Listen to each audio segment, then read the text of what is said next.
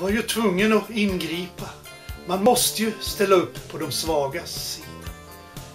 Jag brukar visa fram kniven först. Om de inte fattar, då går jag till angrepp.